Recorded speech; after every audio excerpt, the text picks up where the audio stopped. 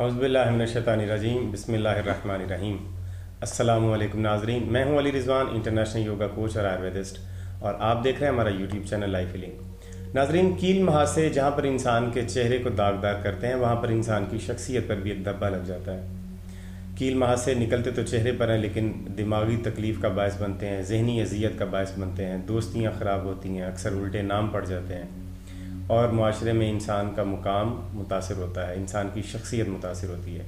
और अक्सर लोग इससे तंग आके जहनी अजियत का शिकार हो जाते हैं और ज़िंदगी अजीरन हो जाती है। रिश्ते और शादी ब्याह में इस, इसकी वजह से बहुत ज़्यादा मुश्किल का सामना करना पड़ता है ख़ास तौर पर लड़कियों को इसकी वजह से बहुत ज़्यादा परेशानियाँ आती हैं। लड़कों को भी इससे बहुत ज़्यादा तकलीफ़ और परेशानी का सामना करना पड़ता है। आज हम आपको कील, महासों और दानों का कुदरती इलाज बताएँगे। उसमें हम आपको अलामत इसबाब और कुदरती इलाज तजवीज़ करेंगे। इस वीडियो को आखिर तक देखें, कहीं से स्किप ना करें, ताकि आप इसका मुकम्मल इलाज समझ सकें और सीख सकें। सबसे पहले इसकी अलामत की बात करते हैं। नाजरीन, अक्सर अवकात चेहरे पर छोटे छोटे दाने निकल आते हैं और वो दाने जब ख़त्म होते हैं तो पीछे काला धब्बा छोड़ जाते हैं, काला निशान छोड़ जाते हैं। और कभी कभी इस मरज़ में मुबतला इंसान उन दानों को फोड़ के कील निकालने की कोशिश करता है। और वहाँ पर उसकी वजह से गढ़ा सा पड़ जाता है। और अगर ये मर्ज़ या ये कील वहाँ से ज़्यादा हो जाए तो खूबसूरत चेहरा भी बदनुमा लगने लगता है। अब इसकी वजूहत पर बात करें तो वजूहत में सबसे बड़ी वजह यही है कि जब जिसम के अंदर पैदा होने वाले जहरीले मादे पेशाब, पखाना, पसीना या सांस के ज़रिए से मुकम्मल तौर पर बाहर नहीं निकल पाते तो फिर वो नया रास्ता तलाश करते हैं। और चेहरे की स्किन क्योंकि बहुत ज़्यादा सॉफ्ट होती है तो वो यहाँ से बाहर निकलने की कोशिश करते हैं और वही कोशिश कील, महासे और दाने की शक्ल में बन जाती है। कब्ज़ इसकी एक बड़ी वजह है और कब्ज़ होने के साथ साथ कभी इंसान को जहनी तनाव हो या देर हज़म गज़ा खाता हो, तुरशी और ज़्यादा तेज़ाबियत वाली गज़ाएँ खाने, तली भुनी और मिर्च मसालेदार और चटपटी और चटनी वाली और मैदे से बनी हुई गज़ाएँ खाने से भी ये मर्ज़ होता है। चेहरे की और जिल्द की अगर सही तरह से सफ़ाई ना की जाए तो उसकी वजह से भी ये हो जाता है, कील महासे और दाने निकल आते हैं। और अक्सर अवकात इंसान लड़कियाँ और लड़के ख़ास तौर पे करीमें इस्तेमाल करते हैं और मुख्तलिफ़ तरह के कास्मेटिक्स इस्तेमाल करते हैं। तो वो कास्मेटिक्स चेहरे की जो स्किन है, उसके सुराखों को और पोरों को बंद कर देते हैं, जिसकी वजह से जहरीले मादे और पसीने के ज़रिए बाहर नहीं निकल पाते और फिर अंदर तेज़ाबित इकट्ठी होती रहती है और उसकी वजह से कील, मासे और दाने बन जाते हैं। मुश्तजनी और जल्क या पढ़ने में सख्त मेहनत, पढ़ाई में बहुत ज़्यादा सख्त मेहनत करना या सुस्ती का मुजाहरा करने से भी ये हो जाता है, क्योंकि इन अवामिल से भी इंसान का निज़ाम निज़ाम मुतासर होता है खाना सही तरह से नाजीन अब इसके इलाज की बात करते हैं। तो इसके इलाज के लिए आपको ये करना है कि आपने सबसे पहले अपने पेट की सफ़ाई करनी है। कील महासों और दाग दब्बों का और दानों का इलाज पेट की सफ़ाई करना ही है। अच्छी तरह से पेट की सफ़ाई कीजिए। इसके लिए अनीमा किया जाए, सादे पानी का अनीमा किया जाए या नीम के पत्तों के पानी निकाल के उससे अनीमा किया जाए। ये बेहतरीन तरीक़ाकार है। पेट के ऊपर मिट्टी का लेप करें। मिट्टी की जो तय है वो एक इंच मोटी होनी चाहिए। कोई भी साफ़ मिट्टी ले लें और उसको पेस्ट बना के, पानी में गारा बना के उसकी पेट के ऊपर आप लेप करेंगे। इसका अगला तरीक़ाकार ये है कि कोई भी तौलिया गीला करके उसको पेट के ऊपर रखेंगे 10-15 मिनट के लिए।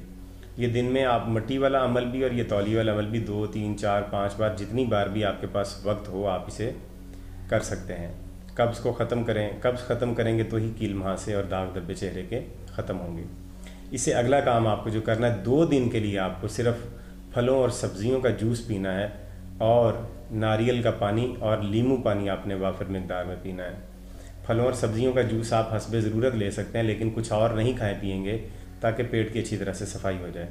इसके बाद एक हफ़्ते तक आपको फलों और सब्जियों का सलाद खाना है। यानी कभी आप फलों का सलाद खा लें और कभी फ्रूट्स ले लें, मिक्स फ्रूट चाट बना लें और कभी सब्जियों का सलाद बना के इसको खाएँगे। और कभी आप स्प्राउटेड बीन्स जैसे कि मैंने दालें बेहतरीन तरीके से दालें खाने के लिए जो वीडियो बनाई थी, वो चैनल पर अपलोड की हुई है। उसको आप देख सकते हैं कि स्प्राउटेड बीन्स क्या होते हैं या उगी हुई दालें क्या होती हैं। वो आपने इन फलों और सब्जियों के साथ इस्तेमाल करनी है। इसके बाद आपने हर हर रोज़ कम से कम 10-12 गिलास लीमू पानी ज़रूर पीना है ताकि आपके पेट की अच्छी तरह से सफ़ाई हो जाए। और आपको दिन में धूप का गसल भी लेना है, यानी अपने जिसम पर से कपड़े उतार के ज़्यादा से ज़्यादा जितना मुनासिब हो सके आप धूप के सामने बैठें सुबह सुबह जो धूप निकलती है, वो जिसम पर धूप लगने दें और हवा भी लगने दें जिसम के ऊपर। हवा का लगना और धूप का लगना, ये भी जिल्द की बीमारियों का बड़ा बेहतरीन इलाज है। आप तुलसी और शहद, ये दोनों आपस में मिला के चेहरे के ऊपर इसका लेप करेंगे तो भी आपके दाने ख़त्म हो जाएँगे। इसी तरह से हल्दी में शहद थोड़ा सा डाल के तो उसको चाटने से भी आपके ये दाने ठीक होंगे। लेकिन ये आपने सारे काम करने हैं, सिर्फ़ किसी एक काम करने से आपके ये सारे मसाइल हल नहीं हो जाएँगे। अक्सर आपने देखा होगा कि दाने ख़त्म करने के लिए कोई क्रीम बना दी जाती है, कोई एक मशवरा दे देता है कि जी आप ऐसा कर लें, आप ऐसा कर लें तो आपके ये दाने ख़त्म हो जाएँगे। कोई एक काम करने से नहीं, ये जितनी चीज़ें मैं आपको बता रहा हूँ, ये सारे अवामिल पर आप अमल करेंगे। तो फिर इन आपकी ये पिंपल्स वगैरह। आप ख़ास तौर पे चेहरे के इलाज की तरफ़ आते हैं कि दाने, दाग धब्बे ख़त्म करने के लिए चेहरे पर हम क्या करें? इसके लिए आपको ये करना है कि एक हफ़्ते तक आपने चेहरे के ऊपर गर्म और ठंडा सेक करना है। जिस जगह पर दाने निकले हुए हैं, वहाँ पर गर्म और ठंडा सेक करेंगे। गर्म और ठंडा सेक करने का तरीकाकारी है कि आप कोई भी पानी की गर्म बोतल ले लें, या कोई गर्म कपड़ा ले लें, या रेत गर्म करके उसकी पोटली बना लें, और दो मिनट तक आप उसका सेक करेंगे, और उसके बाद दो मिनट तक आप बर्फ़ लगाएँगे उसके ऊपर।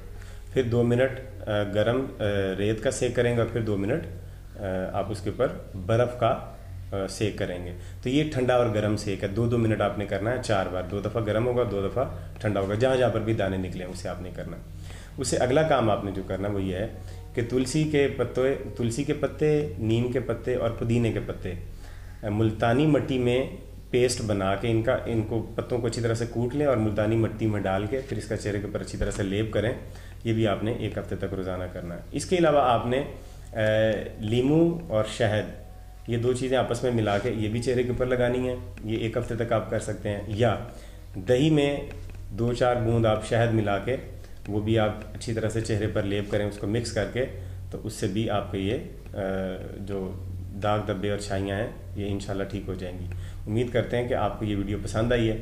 अगर आपको ये वीडियो पसंद आई हो तो इसे आप लाइक करें, शेयर करें, हमारे चैनल को सब्सक्राइब करके बेल का आइकॉन भी दबा दें, और आल नोटिफिकेशन का बटन भी प्रेस कर दें ताकि हमारी आने वाली तमाम वीडियोस को आप देख सकें और उसका नोटिफिकेशन आपको मिल जाए।